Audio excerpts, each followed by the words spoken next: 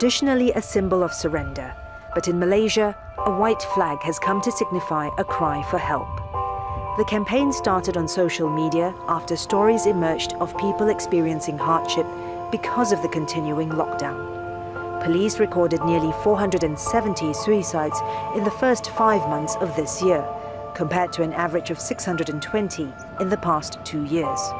The residential flat in Petaling Jaya, Malaysia, 73-year-old Hadija Nimat hung a scrap of white cloth outside her window in a desperate call for help amid the country's strict lockdown.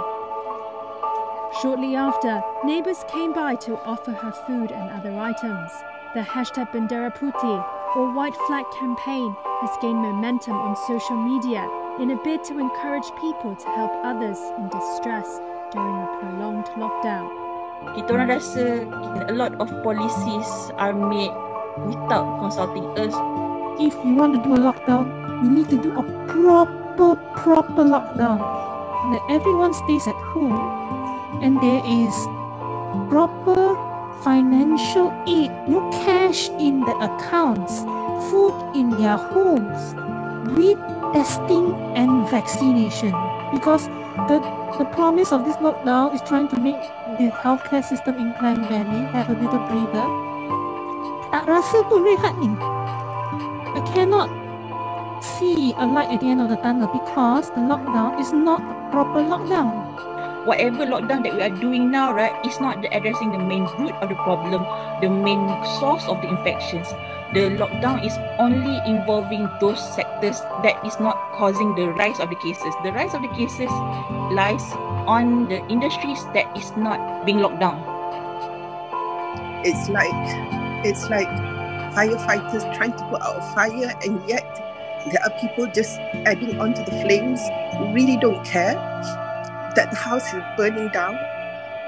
Nothing can prepare us for the current extent that we are facing now. Starting early this year, we've been seeing really, really sick people. And we are not talking about elderly people, we are talking about people who are young, people who don't have any medical illness, getting severe COVID Cat 4 and Cat 5. We're losing lives, you know, we're losing people's mothers, fathers, children. And and to know that this has come, you know, to our country. I'm just thinking how is when is this going to end? So I had to come on on behalf of my colleagues because it's just heartbreaking.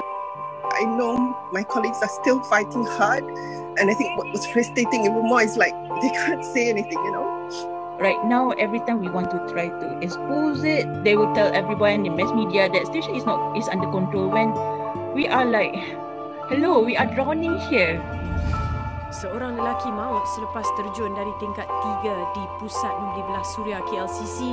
Kejadian dilaporkan berlaku kira-kira jam 1.52 petang. Purata dua kes bunuh diri dilaporkan setiap hari.